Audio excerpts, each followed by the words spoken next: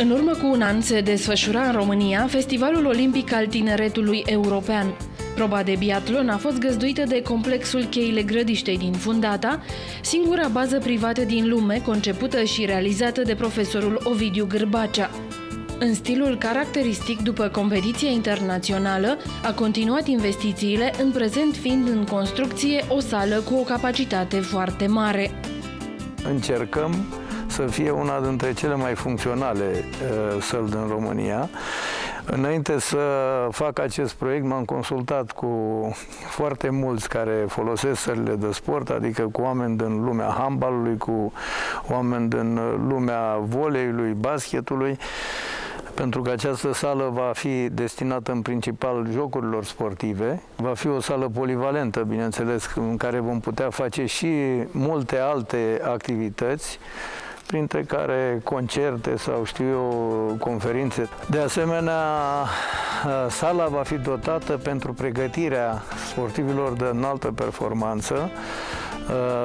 În anexele acestei săli vor fi vreo șase săli de forță, vor fi vestiare, vor fi dotările cabinet medical, cabinet antidoping, o sală care va avea 1800 de locuri Uh, ce a fost foarte greu a fost săpătura. Toată săpătura fundației acestei săle a fost făcută în stâncă, deci a durat vreo trei luni cu două utilaje foarte mari cu picamere până am uh, dislocat uh, pentru fundația sălii. Apoi am început lucrările, eu aveam planificat totul din vreme. Sala multifuncțională are termen de finalizare toamna acestui an. În perspectivă, aici vor exista un lac ce va fi împrejmuit de o pistă de atletism și alte investiții care valorifică la maximum potențialul zonei. Ne-am făcut un proiect prin care să îmbunătățim baza de agrement, deci o să mai construim încă o pârtie care va fi destinată avansaților, deoarece avem pârtii de începători. Vom face și o pârtie de tubing pentru că e la mod acum în lume și uh, văd că e mult, uh, mult apreciată și de turiștii români. De asemenea, încercăm să facem și un patinoar. Aici avem un patinoar în complexul de jos, dar e mai mic, vrem să facem unul mai mare, natural.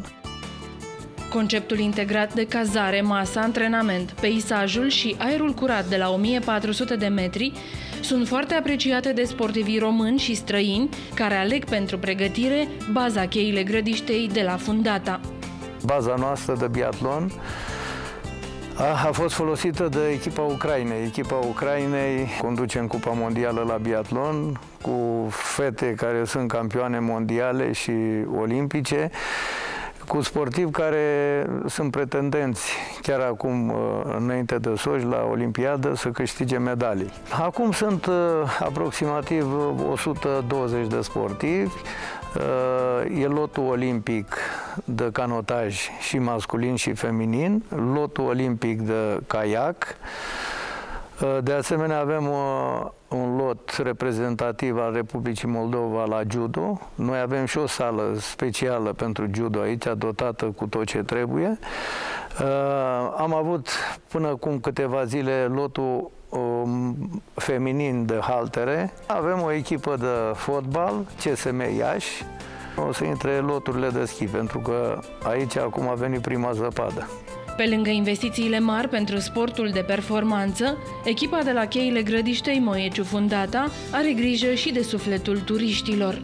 Un loc care să-ți ofere posibilitatea unei, um, unui respiro, să stai în liniște, să privești munții spre care ai făcut plimbări și după aceea, de ce nu, să bei un, un ceai, o cafea, răsfoind o carte. Și, pe de altă parte, din punct de vedere financiar, ar fi, n-am gândit noi, chiar un câștig prin vânzarea de carte, pentru că de aici, 40 de kilometri până la Brașov, nu mai există nicio librărie.